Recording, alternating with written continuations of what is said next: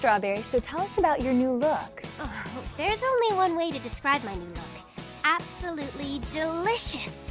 Do you like my new hat? You know, sometimes you just gotta try something new, just as long as you're still you on the inside. And hey, a girl can never wear enough pink. I know what you mean. Why did you need a makeover? Why the makeover? I mean, who likes wearing the same outfit over and over? Life is all about discovering new ways to be yourself. How do you think your new look will help you? How do I think my new look will help me? Oh, I, I never thought about it that way. It's really more important to help others, right? That's how you make the very best things happen. Oh, hi, Custard. What's that?